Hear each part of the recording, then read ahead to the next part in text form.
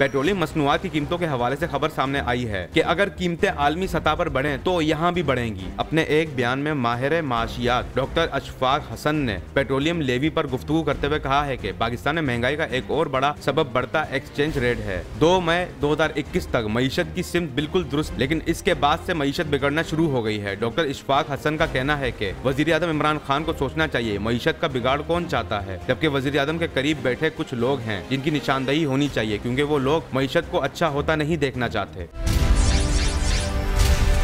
बोल ब्रीफ्स की वीडियो सबसे पहले देखने के लिए बोल ब्रीफ्स के चैनल को सब्सक्राइब करें और बेल आइकन पर क्लिक करना ना भूलें।